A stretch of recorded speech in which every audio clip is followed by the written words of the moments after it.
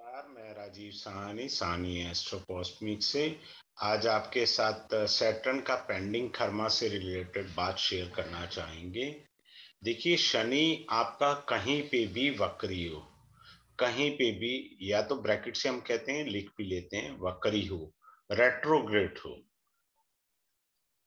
इसका क्या अर्थ है? You have a lot of pending karma carrying from the previous birth बड़े इजी वे में समझिए। पिछले जन्म में आप ट्वेल्थ में थे, आपने प्री बोर्ड पास कर लिया था और इस जन्म में आने से पहले आप प्री बोर्ड के बाद फाइनल एग्ज़ाम से पहले डेथ हो गई। अगर आप पिछले जन्म में भी होते प्री बोर्ड में मेहनत करी फाइनल में भी मेहनत करी, आपने तभी पास होते होंगे ना। अब इस जन्म में वापिस आपको प्री बोर्ड भी देना है और फाइनल एग्ज़ाम भी देना है। फाइनल एग्ज़ाम भी देना है।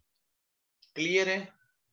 तो जब भी कुंडली में किसी भी भाव में शनि वक्री हैं तो आपको जो है काम करना है डबल शिफ्ट में पेमेंट मिलेगी सिंगल शिफ्ट की। You have to do lot of work too much hard work मैंने एक और, एक तो ये मैं अच्छी सी बात शेयर कर रहा हूँ, दूसरा ये भी मैंने देखा है कि शनि से पंचम में कहीं पे भी शनि हो वहाँ से देखिए, पंचम में कोई ग्रह बैठे हैं, चाहे शुक्र बैठा है, बृहस्पति बैठा कोई बैठा है, वो भी आपके पेंडिंग कर्म है, पूर्व जन्म के, उनकी भी पेमेंट करनी है आपको।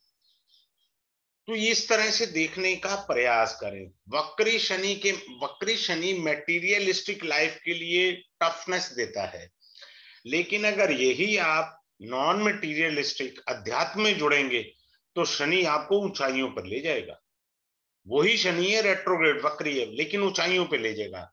अगर आप मेटीरियलिस्टिक लाइफ से जुड़े हैं, तब आपको बहुत मेहनत कराएगा।